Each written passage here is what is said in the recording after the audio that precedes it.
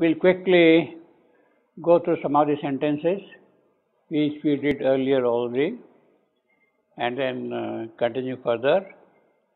3.24 is a long sentence and we have discussed it at quite length also that there are 11 anapests and 23 iambs and 7 trochees, 7 uh, spondees and all that kind of a thing you see here. Now, but grammatically this is a very complex sentence. We'll read that thing again. A force of spare direct necessity reduced the heavy framework of man's days and his overburning mass of outward needs to a first thin strip of simple animal wants and the mighty whiteness of the primitive earth and the brooding multitude of patient trees and the musing foliage of the sky and the solemn weight the slowly passing month had left in her deep room for thought and God. Now, grammatically, uh, we have to unravel what the sentence really means. Which is the main clause, which is the main sentence, which is the subject, which is the verb, which is the object, and then the subsidiary details. From that point of view, see it, force, that is the main subject. Force of necessity, etc., etc. And then the verb comes here. Force had left in her, left, force had left for thought and God a room in her. See, it is not uh, uh, had left in her deep room. It is not in room that is left. But Force left a room in her for thought and God. Force made a room, made a place for thought and God in her. Grammatically, that is the main uh, essence of the whole sentence. Force made a place for thought and God in her. Force of necessity, etc., etc., that, that is an elaboration of the whole thing. But grammatically, the main point is uh, the force made room or made space for thought and God in her. Now, what kind of force? Of direct necessity. A force of necessity made that room. It was necessary, necessity that made the room in her for thought and God. In other words, in the absence of that necessity, perhaps there might not have been thought in God in her. Now, what is that necessity, direct necessity, which makes that the room for her? That necessity is actually here refers directly to the death of Satyavan. Satyavan's death is a necessity, and that necessity, Satyavan's death, that necessity made a room in her for thought and God. In the absence of Satyavan's death and thought, uh, uh, Satyavan's death, perhaps she would have just lived an ordinary common life without thought and God. So that way, this sentence is a very complex sentence, but necessity is important, force is necessity is important, and thought and God are necessary. In other words, because Savitri now knows that Satyavan is going to die. She has been told by Narad. He came purposely for that, uh, to, uh, to, tell her that, that, that kind of a thing, you see.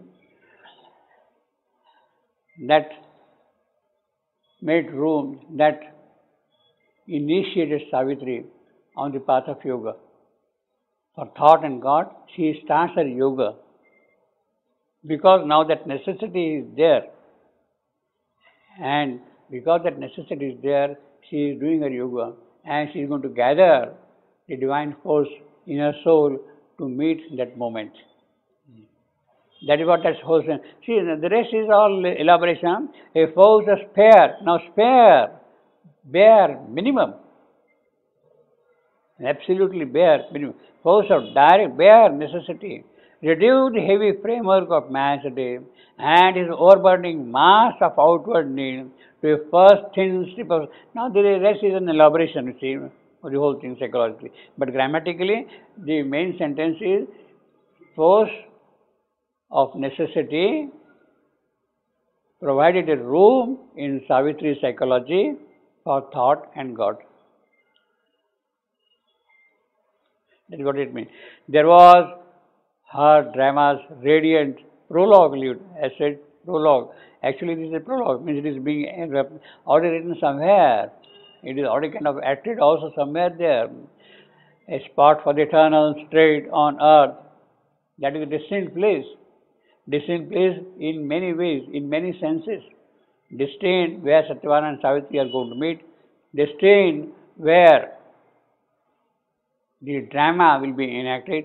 Destined where death will be conquered destined where Savitri will bring down the solar Satyavan, destined where Krishna and Kali will follow in the coming back here. So that is the destiny of the whole place, is destiny spade.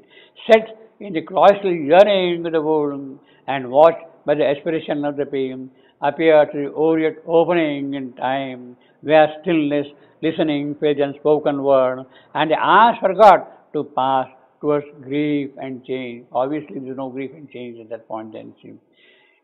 This we have already seen. Here, with the suddenness divine advents have. See, I mean, this sentence, I am really enamored by this sentence. First, it only shows the kind of poetic art which is present in Savitri. It is an extremely uh, important illustration of the poetic art of Savitri. It is not just the thought. Thought is that way, uh, in one or few phrases you can put down the flow. But the way the poetry is developed, the art, the technique which is there involved, it is that which comes out most prominently. Therefore, this is a wonderful example of the poetic art of Savitri, you will say. And as I told you last time, I mean, you already start seeing a kind of a different type of poetry, which is going to be more and more of a higher order, reaching over mind later on, you see. Here, with the suddenness, divine advents am, uh, repeating the marvel of the first descent, repeating the marvel of the first descent. As I told you, first descent, that is when the divine love plunged into the void, you see. It is that which is kind of repeated here now once more. Changing into rapture, the dull earthly round. Love came to her, hiding the shadow of death. Well might he find in her his perfect shrine, his perfect shrine. Savitri is the only shrine possible for him to stay. And that will be always a perfection shrine. See, perfect shrine.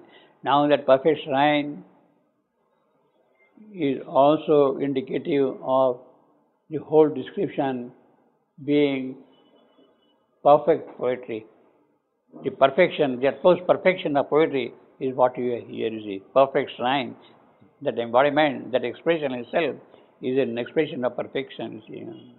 Since first the earth being's heavenward growth began, through all the long ordeal of the race, never a rarer creature bore his shaft, that burning test to the Godhead in our palm, a lightning from the heights on our way. Never a rarer creature. In fact, there was none. Who else could do it? It was only Savitri who could do that, you see. Rarer, you see. All in a pointing to a nobler kind. And then these 51 lines from here onward. Near to us wideness, intimate with heaven, exalted and swift, a young, large in spirit, young, large vision spirit, young. She is always young. Savitri always young. She never grows old. She is always around 18, 20 years old. Savitri. so, eternally young. Voyaging to world the splendor of calm overflow the waves of thought, to unborn things. Now, I told you the beauty of this line, voyaging through worlds to splendor of calm, voyaging, that is the dactyl, it starts with dactyl, and it has a beautiful rhythm because of the dactyl. Voyaging through worlds to splendor of calm. Earlier, in the 1936 draft, the first draft of this passage, which was sent by Sri Aurobindo to Amal Kiran on 26, 25th October 1936, this draft was sent to him. This line was slightly different. It was not voyaging, it was winging. Yes, it was winging through worlds splendor and of calm. Now you can see the difference between winging and voicing in terms of the quality of sound, in terms of the expression, in terms of the po- voicing has a kind of an expand, goes on on and on. Winging doesn't have that thing, kind of a thing, you see. Winging, yeah, yeah. It doesn't that kind of voicing goes on, endless ocean, you are going on and on and on. You see. Winging is kind of compressed, you see. So that small little change brings a different type of poetry altogether, you see. And that is exactly what Sri Aurobindo meant. That I have been using Savitri as a means of ascension. Why I made so many drafts of Savitri, one after the other. One after the other, so many. I have used Savitri as a means of ascension. Now, ascension, not from the point of view of spiritual realizations, which was always there, but from the point of view of bringing down those powers of expression in our language here. It is that bringing down that inspiration, that quality of poetry in our expression. It is that ascension. I use Savitri as a means of ascension. He is not ascending in terms of spiritual heights.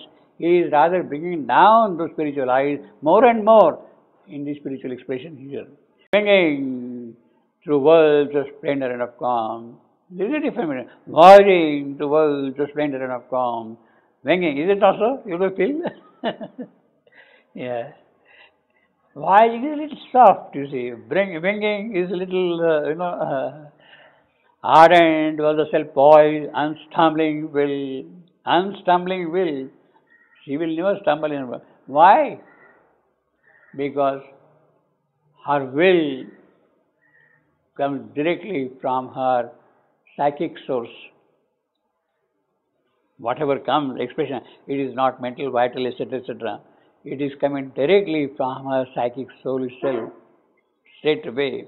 And therefore, it will not stumble at all. Psychic will never stumbles. It is sure of its objective in all the things. Ardent was her self-poised, unstumbling film. Her mind, a sea of white sincerity, passionate in flow, had not one turbid wave.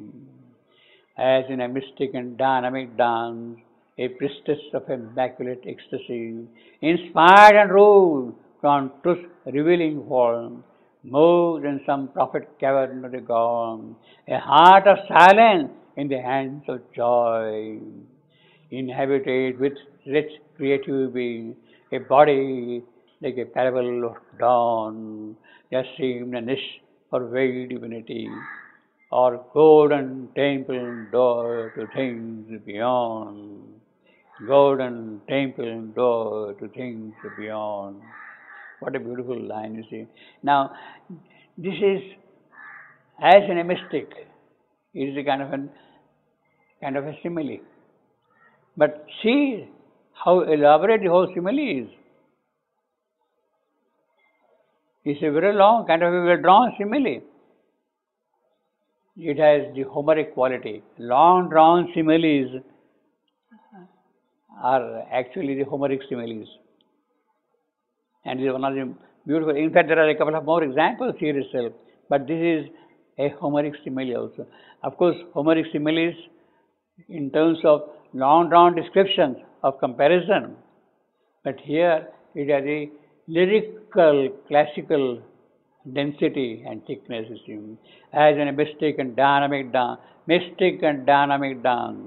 Well, that reminds one of the dance of the Sufis, of the dervishes. You. You, you kind of move in the thing, but it is mystic, dynamic, not vital, not physical. It is basically Sufi's dance of a different type, of a very high quality. Inhabited with rich creative being, a body like a parable of dawn that seamless veiled divinity, or golden temple door to things. I told you last time in the revised edition, they have temple door as a compound, as a single word, you see. But I think this is very beautiful, very rich as it is. We'll have to see that thing, what it is. You see, a golden temple door. I will give very, uh, very, very different kind of an example. There is a shop here for checking your eyesight and all that. On the boulevard, you see. and the board says, right eye treatment. You see that? right, right eye treatment. no. see, now, now whether it is a treatment for the right or it is the right treatment for the eye. But is there uh, a general rule in English for to put the adjective before or yeah, but then it can be double adjective also. Yeah. right eye treatment. You see, of course, he means that it is the right kind of a treatment is going to give your eye. See.